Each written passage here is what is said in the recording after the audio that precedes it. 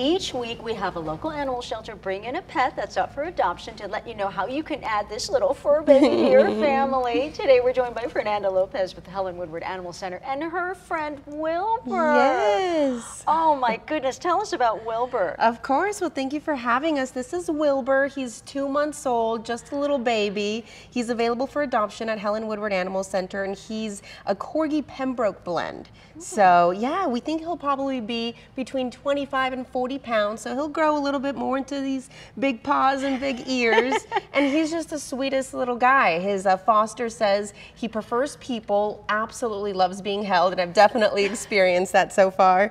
And uh, but he also likes to play. He enjoys being outside. So he's a, just a very sweet little guy. He really loves tennis balls, and especially any toys that squeak. Oh, good Yes. to know. He Mhm. is so chill for a puppy. Chill, yeah. So I mean, obviously you can tell that he's going to be really well adjusted to any home because he's just so relaxed. Yeah. Does he have siblings? He does. He came in with about four other siblings from one of our partners, and um, he was kind of like more reserved of the bunch. Yeah. so, but he also wasn't submissive, so that's important too to note that he did let his siblings know when it was a little too much for him. So that's Aw, good. Yeah. He can hold his own. he can.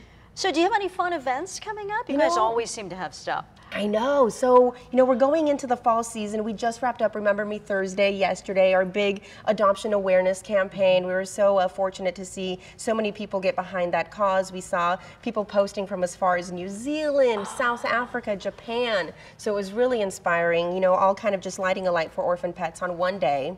Um, and then coming up, we'll have Halloween Harvest.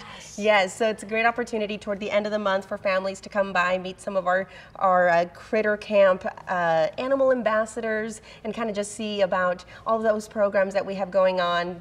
They always have a fun, spooky house Right. and uh, Dress up pumpkins. Yes, uh, you can dress up. So remember, you guys, Wilbur here is up for adoption. He's so adorable. Uh, do we have that full screen to put up? The Helen Woodward Look Animal Center. There it eyes. is. There are the hours and the address and the number. You do have to go in person, so get on out there if you want to get Wilbur. Yes, thank you so much. Thanks, Fernanda.